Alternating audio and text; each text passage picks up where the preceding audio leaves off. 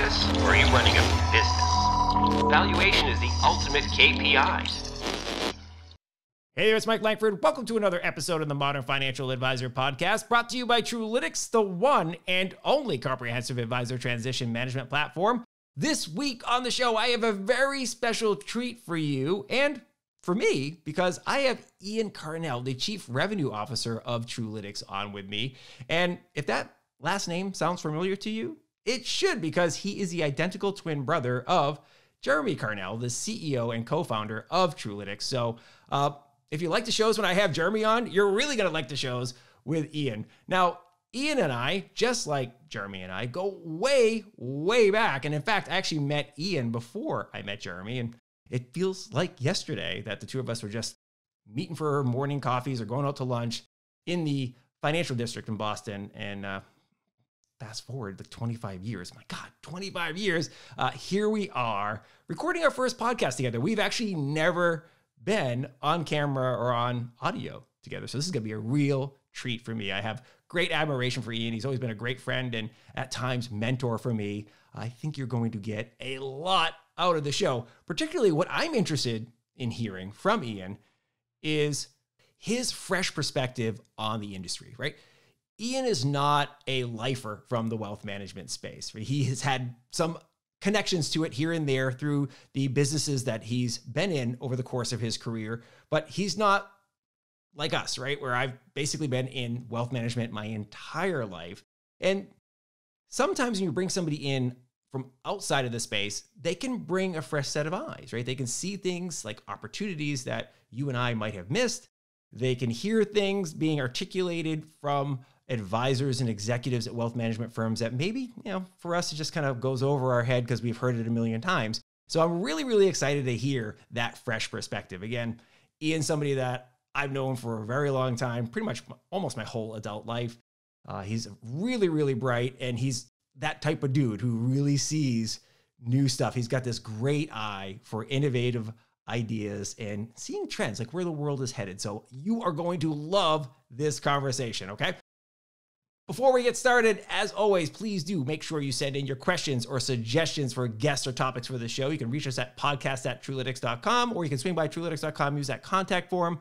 And of course, hit us up on the socials. We are active on LinkedIn, Twitter, Facebook, the YouTubes. Love to hear from you there. And if you're leaving a comment, also make sure you give it a like and a share with your network because, of course, they're going to want to hear this conversation as well. And if you want to follow up with me, I'm at Mike Langford basically everywhere. I'm real easy to find. I, I am the Mike Langford, but don't put the the on there. Just at Mike Langford. Super duper easy. Okay. Lastly, if you haven't done so already, please do make sure you subscribe to the podcast on Apple Podcasts, Spotify, Stitcher, SoundCloud. Again, YouTube, wherever you'd like to get your podcast jam on, you can find us there. Okay. All right. Let's get to the conversation with Ian Karnell, the Chief Revenue Officer of Truelytics. Ian Karnell, so magnificently awesome to see you on my screen. Finally, I've been like waiting for this for like six months. So, uh, welcome to your first appearance on the Modern Financial Advisor podcast. It's it's a privilege to be here. It's good. Thank you, Michael. You're very Especially, welcome. I mean, I mean, I mean, we, we go way back. I mean, we Yeah. go back to Boston, our Boston days with you at State Street, and Yeah. you know, uh, me so- running a digital agency. Yeah, it's so fascinating when you realize that there are friends that you have. Uh, Yeah. and, and now and colleagues as well that you're like I've known you for 25 years basically my almost Yeah. my entire Yeah. adult life you and I have been in each other's lives and they're like this is really Yeah. wild I moved to Austin and they're like literally I think the year after you moved to Austin and then Jeremy Yeah. follows and it's just such a wild experience you realize damn this dude's been in my life for like 25 Yeah. years really really cool it's amazing uh, you know it is. I'm really excited to have you on the show, not just because we go way, way back, and you know, it, it's uh, you have this fresh perspective, right? So you you joined Truelytics in November as chief Mhm. revenue officer. That position didn't exist before, Right. Correct. and you don't have you know 25 years of experience in the wealth management industry like I do, right? Like I've been in this No. pretty much my whole career. I had zero. right? Yeah, you had zero. I mean, I started my career answering phones for mutual fund companies, right, when I was still in college. and so I've kind of like nerding out on this stuff for my whole life. And and I was actually talking to somebody yesterday at, at another firm, and, and we were talking about how like you sometimes forget how you we just know stuff. You just because you just know it. You've been in the industry for so Right. long, and, and I'm really excited to have you on the show because you have a, a fresh perspective. Here comes somebody who has got a wealth of just fantastic business experience, and, in, in different industries, and you've got a variety of them. But Mhm. here you are looking at our space through a set of fresh eyes. So it's wonderful to have you here, and I can't wait to pick your brain about what you're seeing. Yeah, I mean the bulk. I mean the. I mean not the bulk. I mean uh, the entire kind of my entire career has been predominantly centered around ad tech. So I come out of the ad tech industry, and this is my first. You know, th- this is my first foray. Now, one of my biggest accounts in ad tech was State Street. I mean, that's you know when we met way back. So, Yeah. so you know, I knew them as a custodian, uh, one of the world's largest custodian. I got to know that part of the business. We had a pretty big financial services practice within our agency. So I, I've certainly, you know, kind of been in the orbit of the industry, but I haven't worked at all full time within this industry, and it's a whole different beast entirely when you when you kind of switch industries and um, and you get into learning the acronyms and the nuances of the industry. So yeah, it's been it's been uh, a, a pretty steep learning curve over the last six months. Yeah, so like it wasn't really easy. It wasn't like super easy to re- realize. Oh, I got an RIA, then I got an IAR, which is not an RIA. You know, right. Oh, it's crazy. Um, yeah, and then OSJs and broker Yeah. dealers. Yeah, I mean, and yeah, it's it's um it, it's been a lot of fun. Some some head scratching from time to time, yeah, but but I'm getting there. yeah, yeah. It's the the alphabet soup is really Yeah, challenging for especially for anybody new. And, and by the way, this would be the same Yeah. thing if you pulled a financial advisor or an executive from a financial firm and plopped them down in a Silicon Valley tech place. They'd be like, "What is happening here?" or over into ad tech where Yeah, I come true, from. I yeah. mean, we have this we have the same issue, right? I mean, it's a foreign language entirely. So Yeah. Uh, and we do that to keep others out. That's right. this is the gatekeeping game.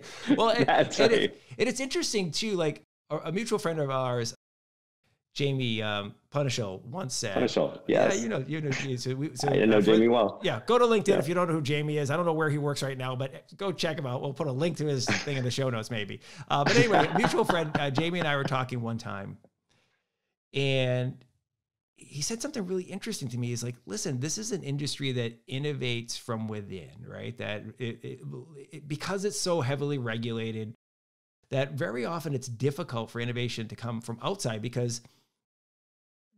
Many of the people that work in these companies are lifers, right? They've, they've been here Right. for like 25, Right. 30 years, right? So Right. when you're selling into a State Street or a Fidelity or these really large Right. firms, people they- they- they've been there for a long time and they have a lot of institutionalized knowledge. And so uh, that what I've seen is it's changed over the last few years, though, you, you, you- last decade or so, because the pace of innovation outside of the industry is going so fast.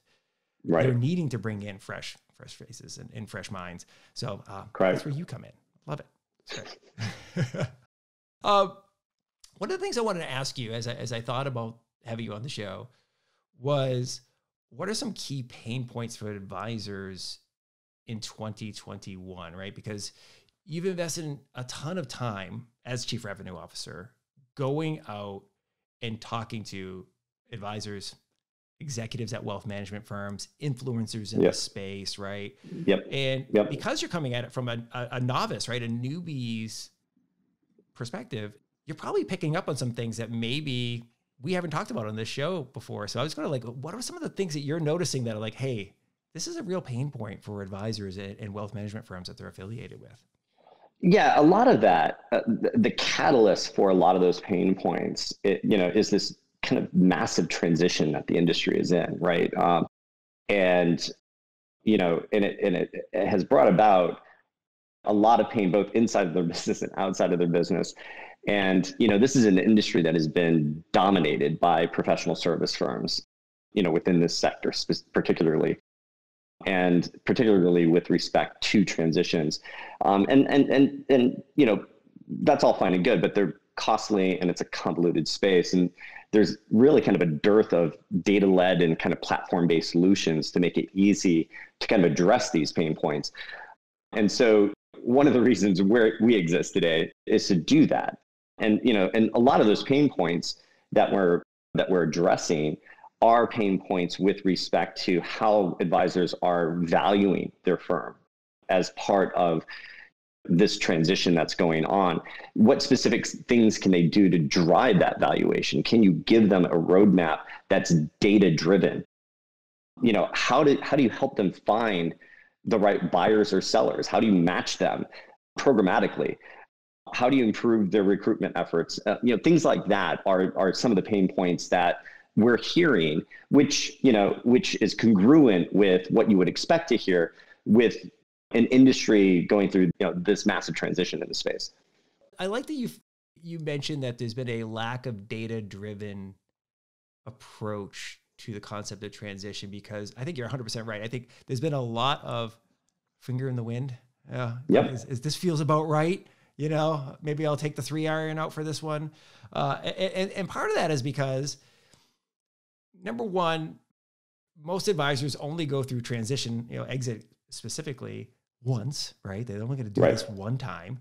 Right. We're also right. in the very first wave of OG financial advisors transitioning out yep. of the business, right? Like this is a relatively new profession, and the people who are financial advisors, we consider financial advisors, it's it's brand new, right, for them. Right. And so, right.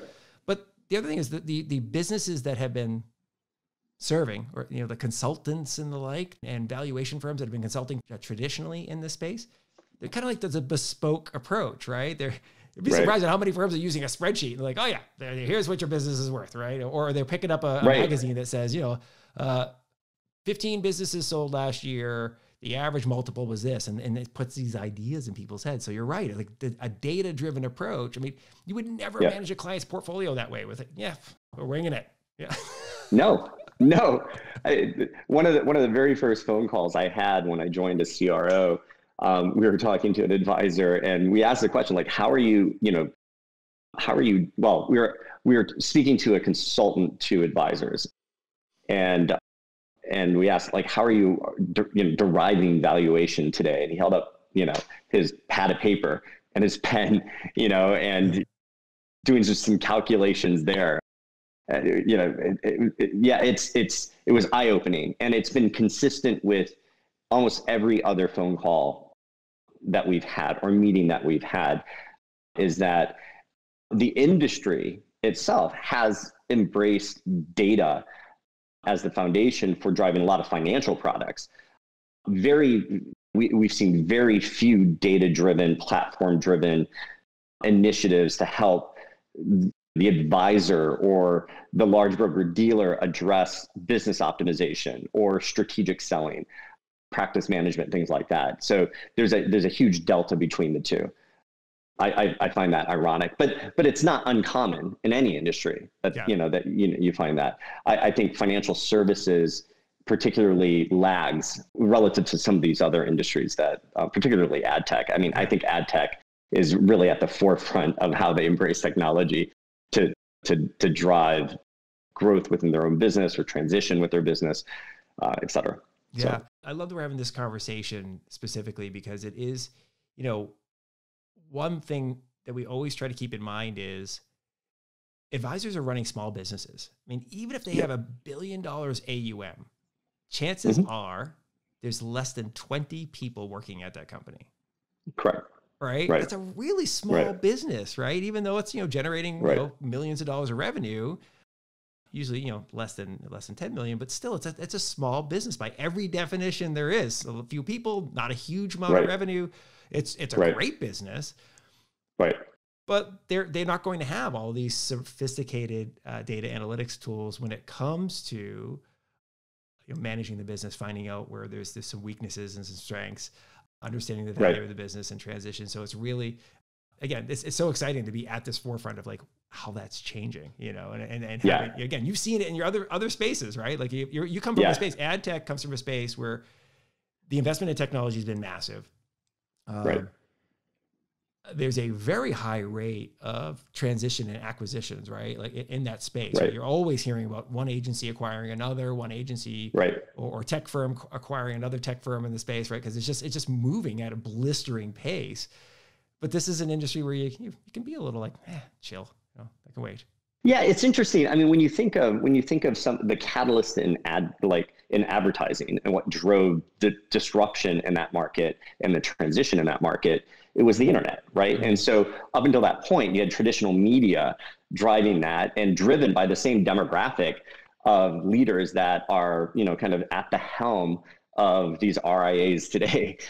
And so, you know, and that are looking at retirement and looking to kind of transition out. And so, so although not the same kind of, you know, I mean, not not the same kind of catalyst per se, even though you know the internet has led to data-driven SaaS-based platforms that are solving these particularly challenging solutions that, as I said before, have been the domain of professional service firms up until this point.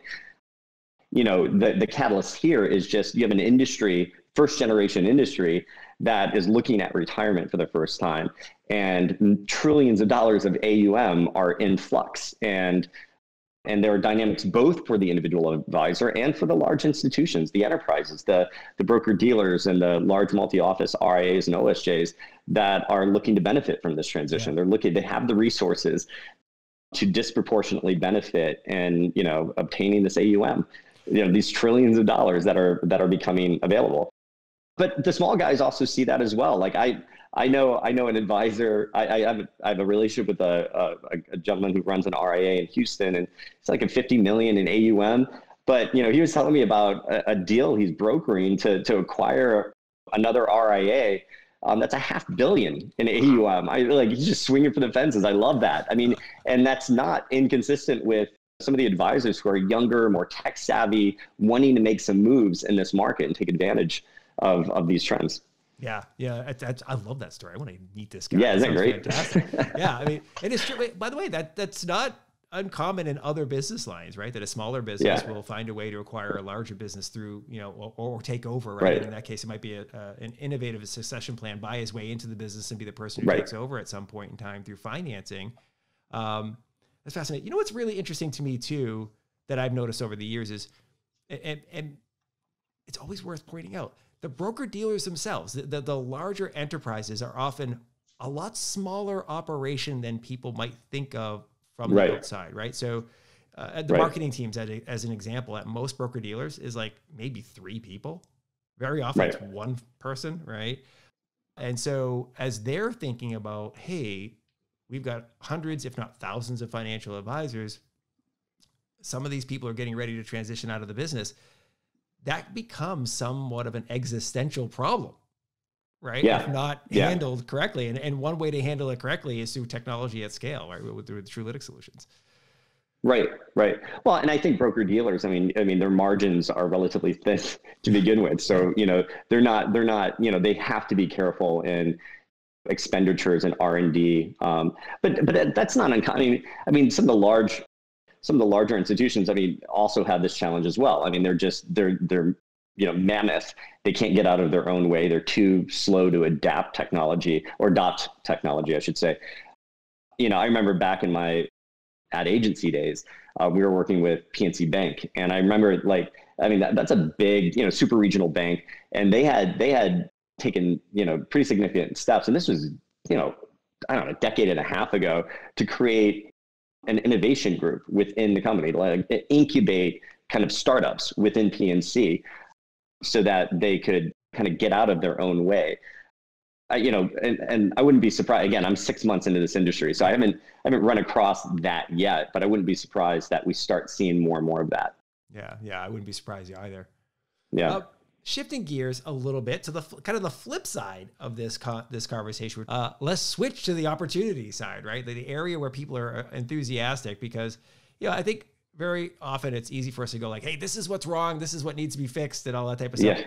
But you know, I think there's a lot of enthusiasm as well. Uh, have you been talking to advisors and to, to firms and, and, hearing them going, you know, what really excites us is this is what we're trying to go after, what we're trying to uh, grow to, or, or the opportunity we're looking to seize here in 2021 and beyond? We have, and, and, there's some exciting calls that we have had. I mean, it's it's really exciting to see. There are some younger advisors who are building their RIA, relatively new to the game, um, but very, very tech savvy, very comfortable with technology, very comfortable and wanting to leverage data to drive not only insights but differentiation in the marketplace. And Um, you know, one of one one of the early um, um, kind of uh, closed won opportunities that that I that I was um, part of after I joined the company uh, was a smaller RIA that um, it was a husband and wife team, and they were I mean they were young, very hungry, very smart,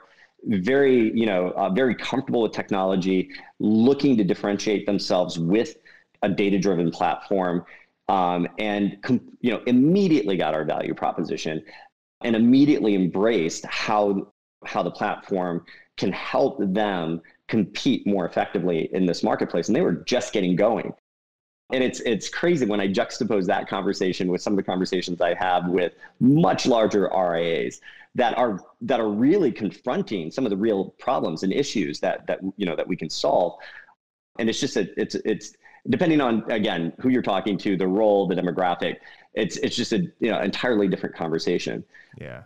So that excites me, right? I mean, so part of this transition is leading to yes, I think we're seeing you know I, I, think we are seeing the industry collapse up. I think we are seeing disproportionately some of these large OSJs, multi-office RIAs, broker dealers, you know, disproportionately benefit from this transition.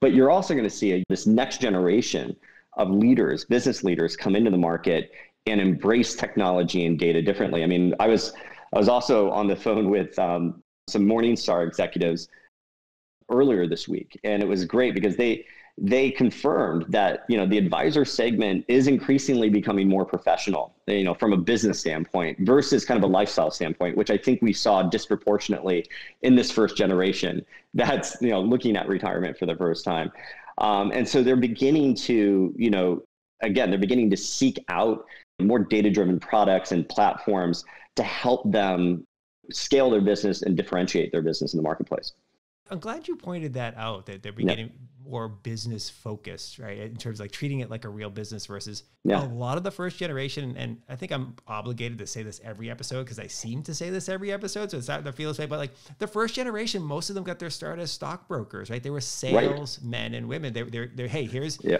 here's, here's the phone book, start dialing for dollars, right? Just like they show you in the movies, right? Call everybody you know and then start using this list. But, and there's nothing wrong with that, by the way, but what ended up happening is you you grew the business as it's a book of business. Like these are I'm selling into right. this group of people, and you had this job right. that you owned in in many ways. It, it, but the the younger generation, and we're talking like people who are in their 40s now, like we're still talking like you right. know, like their careers early in their careers, they had the internet from day one, right? Like they they entered the workforce, had the internet. Uh, they they understand how powerful the internet is. They understand how powerful tech can be in growing a business. They understand you know, doing things like we're doing, right? We're talking face to face over the internet right, right. Now. They get that, right. right? These are the first generation that are probably coming at this business going, yeah, I'm, of course I'm going to get my CFP. Of course I'm going to like be a yes. professional financial planner. Like that's some things I'm going to be able to want to do. I'm going to want to have other service offerings in my business. In addition to asset management, I'm also going to want to offer maybe some accounting or tax planning or whatever, right? So they're they're thinking about it much more business like. So I really like that you pointed that out. Yeah. Yep. Yeah. Really cool. Uh, now here's one. Right, This is my favorite question. I want that because like so you spent all this time six months in, right? So I'm thinking this is the time to ask you this one. Uh, what surprised you so far the most? Because anytime you get into a new business, you know, the first couple of months, your head's spinning, drinking from the fire hose, trying to figure out, like you said, the, the alphabet soup. Uh, then you start the, you know, all right, I got it. My sea legs are feeling here. You, you, you, you've been doing it for a little while. Now you're starting to feel like a pro. You've been at this for six months. You kind of you know the business, oh, you know I'm, the people. I'm nowhere near feeling like I'm a pro no, yet. No, nowhere, you have to lower that bar. You have to lower that bar. There's no way I feel like a pro yet. Not in this industry. so many sea legs. But okay, like okay, well, be that as it may, I'm sure some things have been like, that's interesting. I'd never thought of that, or that's surprising to me that it and it could be a good surprise, by the way. This does not have to be like a holy crap, this is a what is wrong with you people type of question. But like, is there anything you like just kind of like wowed you a bit? Well, I mean, I think I, I didn't. I mean, uh, we've been, you know, this is this has been the theme I think so far in this conversation. I mean, I think for me, um, I you know, I kind of came into this industry thinking it would be, you know, much more competitive. Um, you know, I, you know, I, you know, I, I was very aware when my brother was founding the business a few years ago or part of that founding team. And, you know, and I kind of at a, at a, at a surface level knew their value proposition. And, um, you know, but it was in, you know, wealth management, it was in financial services. And, and I just, you know, kind of my, my supposition was that there, you know, this would be a marketplace that was highly competitive where there would be, you know, kind of a wealth of options and an industry that uses data and technology for a lot of their financial products and to, to you know, to benefit their customers.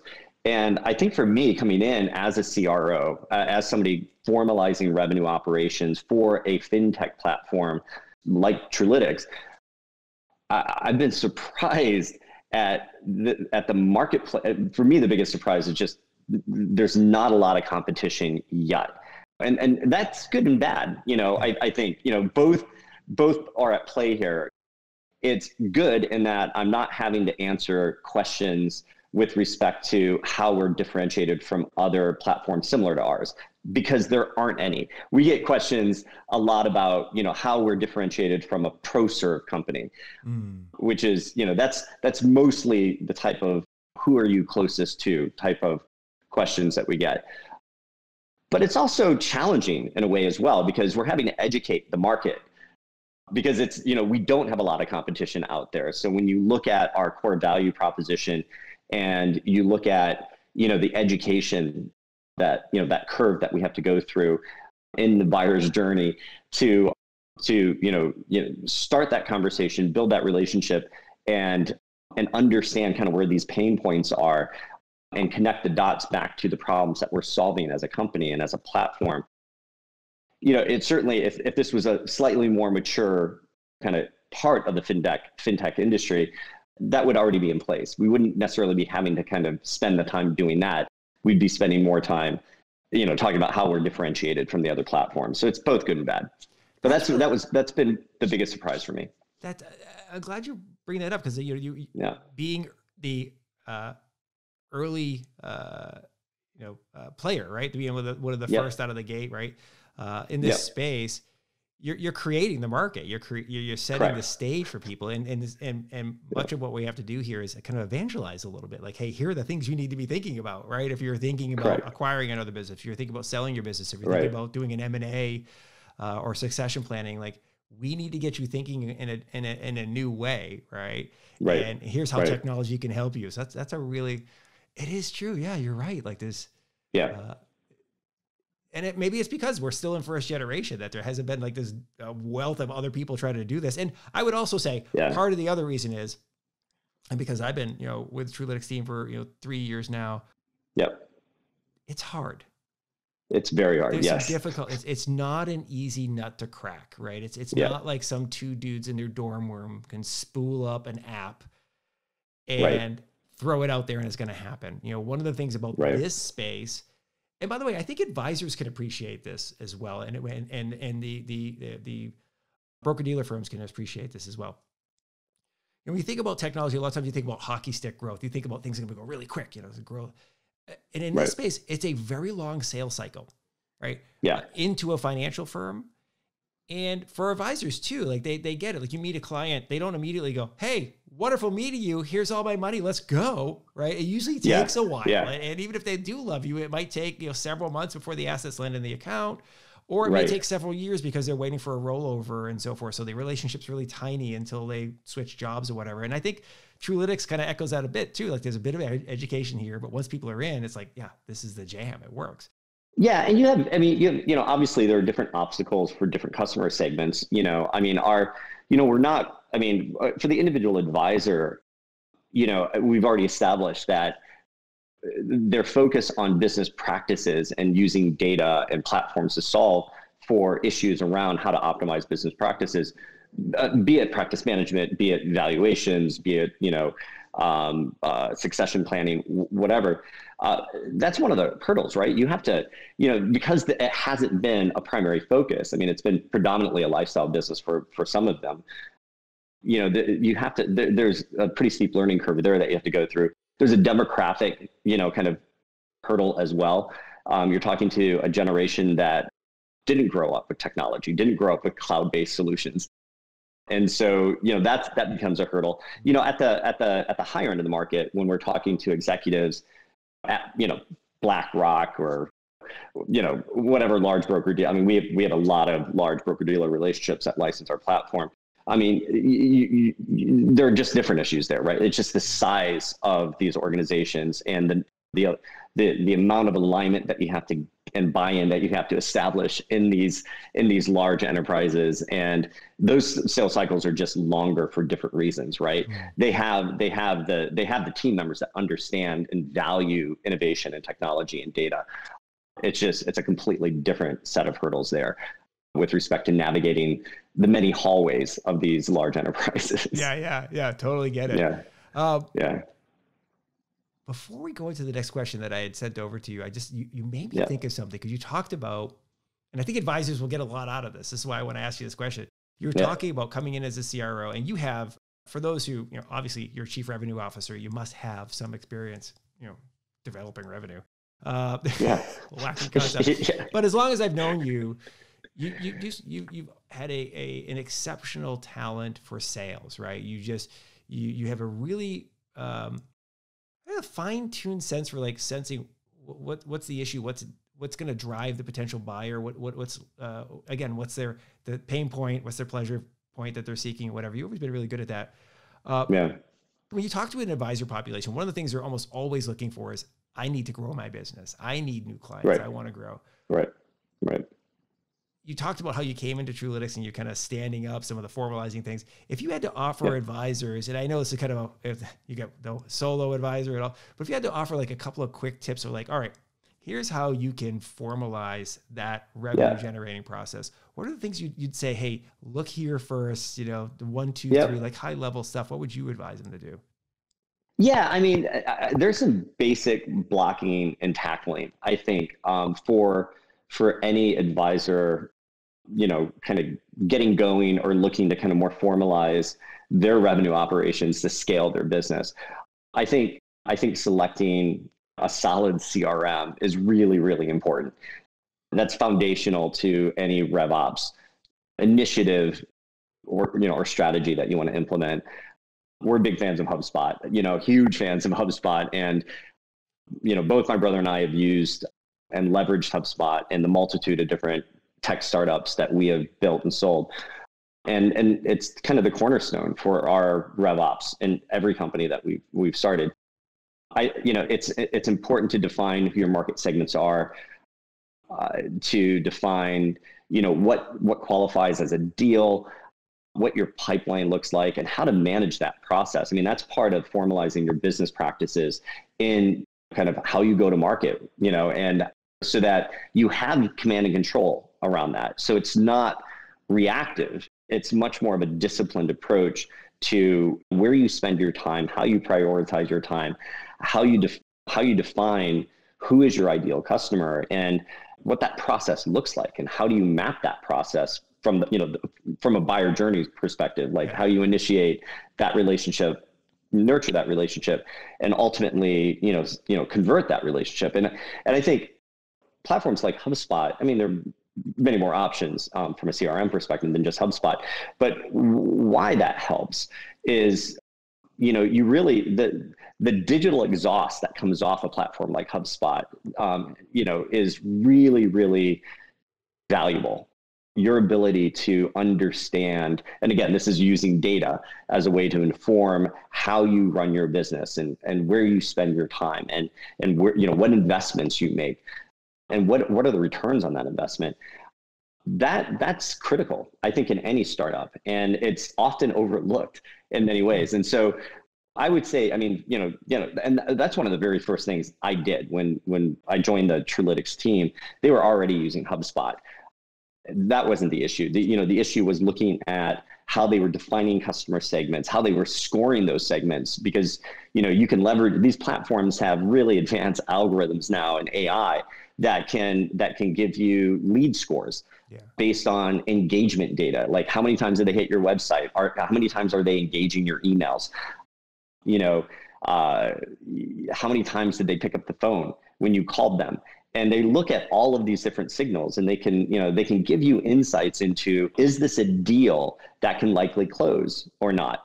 You also want to understand deal velocity. How quickly can you get from point a to point b in closing a deal and you know all of the, you don't need i mean we have we're seven people at Truelytics. We're not a we're not a 40, 50, 60 person company. We're you know we're a, a, a seven person fintech platform that's running a, you know a multi million dollar business in the wealth management sector, and it's because we can leverage platforms like this to help gain the insights, help us manage the business, and make you know better business decisions. I think it's so smart so, that you, you, said that, and I'm glad I asked this question. Yeah. By the way, again, you're the, one of the best at it that I've ever met the reason why I ask that question is oftentimes when you talk to advisors and you ask them where new business comes from, they'll tell you it comes from referrals. And yeah, yeah. if you ask the follow up question of like, well, where do you get your referrals? It's a little bit like, eh, you know, I mean, they happen. Like, so there's a lot of right. hoping and waiting that new, new yep. deals come. But yet, when you survey and talk to advisors, it's often the thing they want most is more business. And so it's, it's I, I wanted to just get, get your take on it. I think it's really smart that you talked about, you know, kind of formalizing yeah. a process, identifying what actually is a deal, understanding how yeah. long does it take to close a deal, like what, you know, and yeah. where are those deals coming from? Just, it doesn't have to right. sound complicated. Exactly what you said. It's like, yes, you can use HubSpot right. or Redtail or some other CRM or whatever. Yeah, but yeah, you can exactly. Use, hell, you could even use you know Outlook or something like that. But like having a process yeah. in place to go, okay, this is what I did to bring in this prospective deal. This is where they are in the process and, and tracking along. Right. Much better than going, I get referrals they happen. Well, and, and, and a lot of these, I mean, and even if you get referrals, I mean, the issue is, again, you know, I think for a lot of, a lot of advisors that are, you know, um, not necessarily kind of focus on business practices, you know, they're just reactive. And so you might get a referral, and if that referral's hot, great, you might be able to kind of mm. close that pretty quickly. But some referrals take more time. They need they need nurturing, and I think over time that can become that that can become quite it can become burdensome um, because some of that will a lot of that will just fall through the cracks unless you are using a crm to help you look at aging to help you set up automated workflows so that you can you can become like again a two person three person four person five person RIA you know leveraging these types of platforms can look like a much bigger company because you can set up workflows and automations that you know really take the, the the stress off of having to manually follow up with everyone. You can you can build these types of workflows and automations within these platforms and and help you identify how you prioritize your day. And so it's it's really about you know at the end of the day what's going to drive the most effective results for your business. And and again leveraging again the theme the theme of this podcast yeah, i mean yeah. i think leveraging data and platforms like you know, like Truelytics or like a HubSpot, um, I think gives you, you know, a, a, competitive advantage in the marketplace for those who embrace Fantastic. it. Fantastic. Like yeah. I said, glad I asked this question. It's going to be really valuable for the listeners. Okay, yeah. wrapping it up here. This one is kind of like my favorite question I saved for the end. Well, actually, I already said that yeah. one was my favorite. Okay, so this is my second favorite. yeah. um, all right, so uh, you know, as a chief revenue officer, you're yeah. obviously looking to drive revenue growth. It's in the name, kind of. Uh, and revenue growth for Truelytics is going to come in the same way that it comes for the advisors, right? You're going to expand business by selling more stuff to your same clients or right. selling more of your same product, or right. you're going to grow by getting new clients or through introducing new products to the, right. the space. And so, for advisors and, and wealth management executives who are listening or watching the show on, on YouTube or wherever they, they like to hang out, uh, what what would you like to know about their business that you know Truelytics could help them with, right? So like, you're obviously you're poking and prodding and so forth and asking questions, right. but you know if, if somebody's listening, like, oh, you know what we really need help with, this. Yes. Uh, what are you dying to know?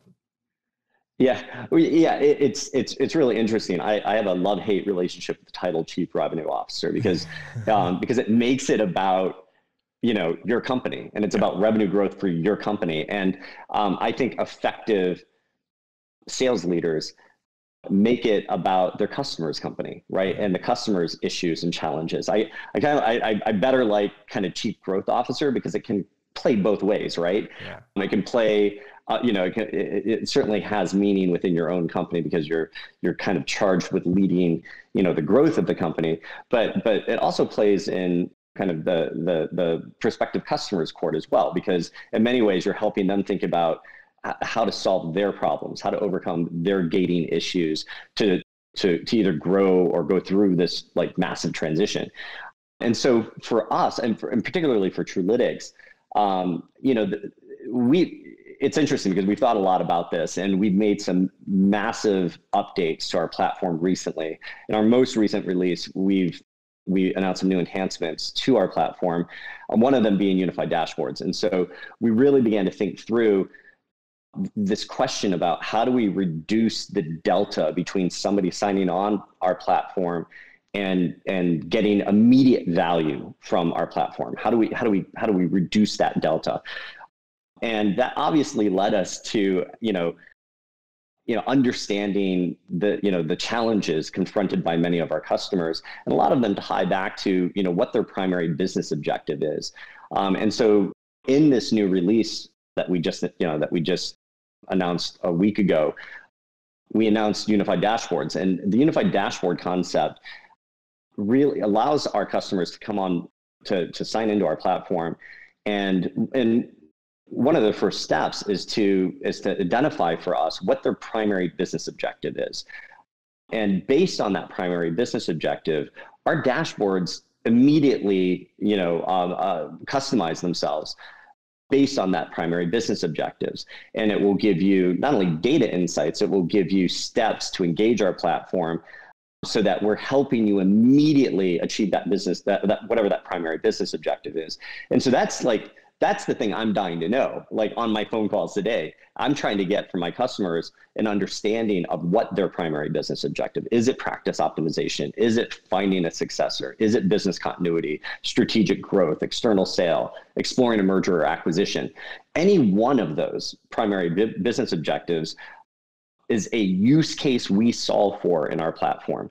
And I can speak specifically to the value of our platform and how we solve for that and really kind of clearly you know demonstrate the value very early on in those conversations. And so those are the things i'm trying to get at.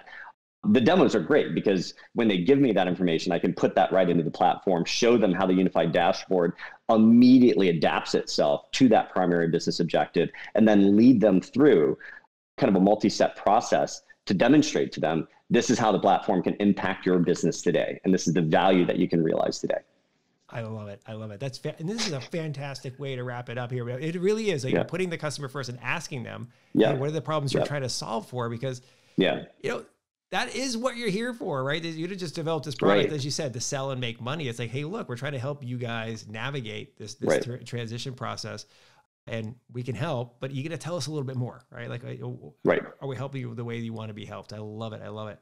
Well, Ian, right. this has been fantastic. Great catching up, uh, but also just really getting some great insights from you. Fantastic. Thank you, sir. I'm sure some people are going to want to follow up. You're welcome. What's the best way for people yep. to get in touch with you?